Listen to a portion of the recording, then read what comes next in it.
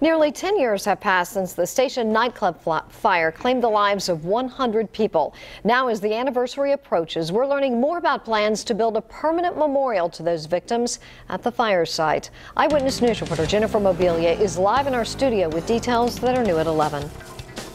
Tonight, members of the Station Fire Memorial Foundation met, and they tell me since acquiring the land, construction plans for a permanent memorial have kicked into high gear.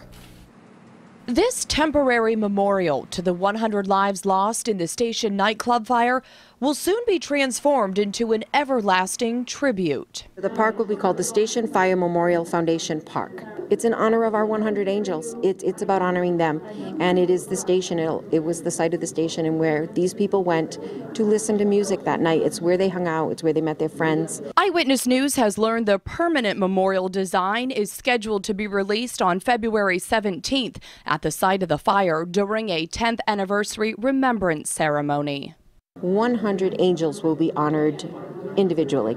The land will be structured so that every one of them has their own place. There'll be vegetation that will take care of itself. We're not going to have any enclosed buildings on the property for safety's sake. The Station Fire Memorial Foundation isn't releasing many details about the design. They did say, however, they plan to incorporate personalized engraved bricks like these. The bricks will be for sale on the foundation's website. The money will be used to pay for the memorial. This is a fire that happened to us in Rhode Island, but it's open to the world. Anyone who wants to come and help us build this memorial by buying bricks to just uh, remember someone that they didn't even get to meet, but they've read about over the years. Please, you know, this project means a lot to us. This spring, as construction begins, all the wooden crosses and personal items will be removed and buried in a time capsule under the site.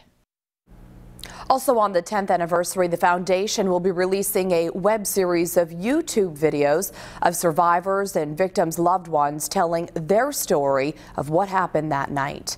I'm Jennifer Mobilia, Eyewitness News.